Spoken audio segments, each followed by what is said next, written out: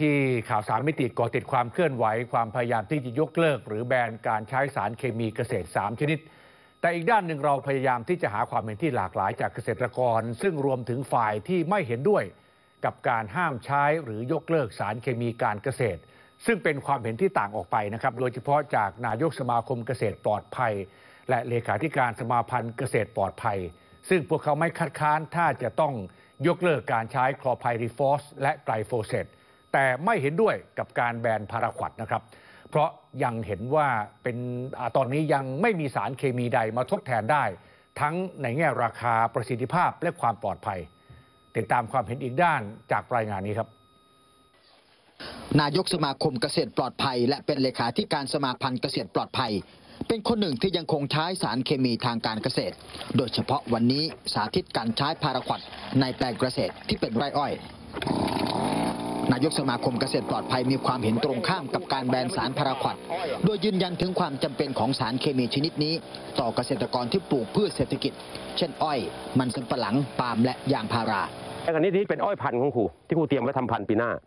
เพราะฉะนั้นจะปลูกหลังจากเอ่อชุดโน้นนะเอ่อคุณได้ใช้ยามาแล้วสองครั้งก็คือใช้อาร์ทาซีนในการคุม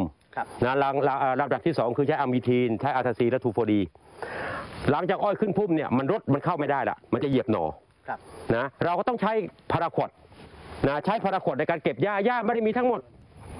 นะหญ้าจะมีเป็นบางจุดแล้วก็เดินเก็บเฉพาะบางจุดไม่ได้ฉีดเต็มพื้นที่เราฉีดเฉพาะที่มีหญ้านะเพราะฉะนั้นพาราควดมันจะเป็นตัวที่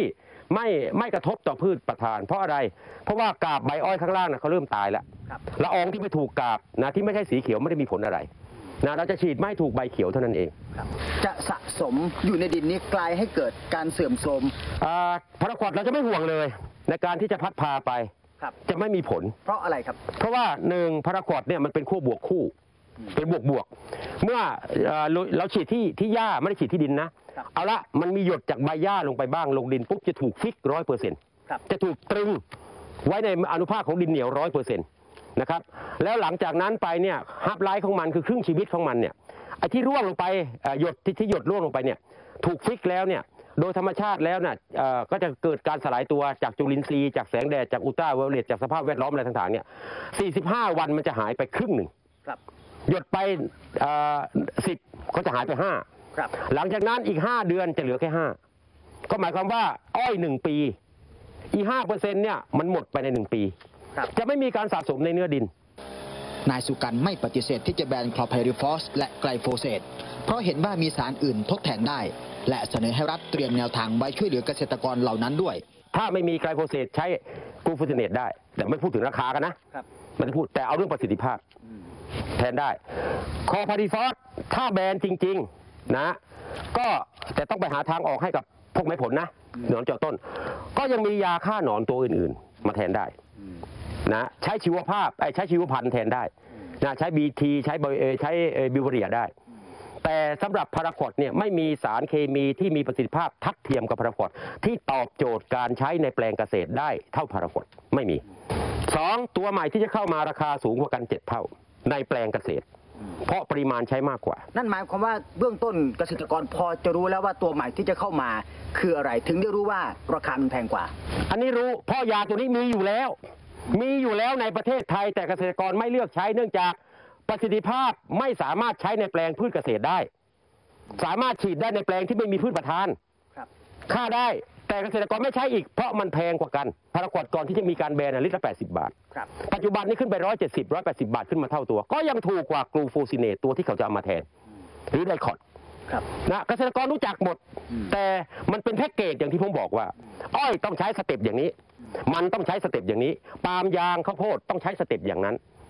ผิดจากนั้นไม่ได้ แต่พาราควอตมันเป็นตัวเก็บครั้งสุดท้ายเท่านั้นเอง ขณะที่ข่าวสารมิติได้เกาะติดปัญหาโรคเนื้อเน่าเนื้อเปื่อย ที่อำเภอสุวรรณคูหาจังหวัดหนองบัวลำพูมาตลอด 2 ปีที่ผ่านมา พร้อมข้อเท็จจริงที่พบว่ามีผู้ป่วยด้วยโรคจำนวนนี้มากขึ้น โดยเฉพาะในช่วงฤดูฝนที่ต้องใช้สารเคมีทางการเกษตร และสอดคล้องกับจำนวนผลการใช้สารเคมีในพื้นที่ดังกล่าวมีปริมาณมาก แต่นายสุกันมีความเห็นต่อเรื่องนี้ว่า ไม่สอดคล้องกันในแง่การเก็บข้อมูล และชนิดของสารที่พบในร่างกายผู้ป่วย พูดถึงเนื้อเน่าเนี่ยทางทางทางแพทย์ก็บอกว่าเกิดจากแบคทีเรีย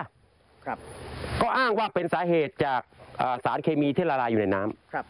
แต่จากงานวิจัยที่เขาเอามาอ้างอาทราซีนมากที่สุดอะมิทรีน two four D มากที่สุดครับไม่ใช่พาราควอตรัฐบอกว่าจะชดเชยเงินส่วนต่างหรือว่าช่วยเหลือ เพื่อที่จะใช้สารอื่นแทนพาราควอตเกษตรกรคิดยังไง เอาเงินมาให้เกษตรกรเกษตรกรก็ต้องเอาเงินไปให้บริษัทเพราะซื้อยาตัวใหม่มาแทนเอามาให้ทำไมเกษตรกรไม่ได้ใช้ เอาเงินมาทดแทนเรื่องการใช้ยาเคมีใช้นวัตกรรม ถ้านวัตกรรมเผมเห็นด้วย ถ้าสามารถสร้างแพ็กเกจเรื่องอ้อย มีเครื่องไม้เครื่องมือให้เพียงพอใช้ precision farming ใช้ intensive farm ใช้เครื่องมือเข้ามา สามารถตอบโจทย์พี่น้องเกษตรกรเอามาอย่าเอาเคมีมาแทนเคมียาเพราะฉะนั้นสิ่งที่คุณอ้าง มันถือว่าปลดเพราะคุณบอกว่าแผ่นดินอาบสารอาบสารพิษจากพาราควอดและไกลโฟเสตคุณแบนสองตัวนี้แล้วเอายาตัวอื่นมาแทน ปริมาณใช้มากกว่าสารสองตัวนี้ กลงคุณจะเอาอันไหนแน่ คุณจะเอาผู้บริโภคปลอดภัยไหมในเมื่อยาเคมีเข้ามามันจะปลอดภัยไหมแล้วคุณเอายาเคมีเข้ามาแผ่นดินจะเลิกอาบสารพิษไหมเพราะฉะนั้นการแบนยินดีเลยครับ แบนสารทุกตัวไปเลย สารเคมีทุกตัว แต่ก่อนจะแบนคุณรีบหานวัตกรรมส่งต่อข้อมูลในเรื่องของการใช้นวัตกรรม เรื่องทุนการเข้าถึงเครื่องมือ ให้กับพี่น้องเกษตรกรทำแบบยุโรปถ้าทำได้ทำเลยเคมีไม่ต้องใช้แบนไปเลยครับ ทุกตัว มนตรีอุดมพงศ์ข่าวสารมิติรายงาน ข่าวสามมิติยังคงจะพยายามเสนอความเห็นจากหลากหลายแง่มุมนะครับ ทั้งฝ่ายที่สนับสนุนและคัดค้าน มีความเห็นของนักวิชาการและเกษตรกรติดตามต่อในวันพรุ่งนี้นะครับ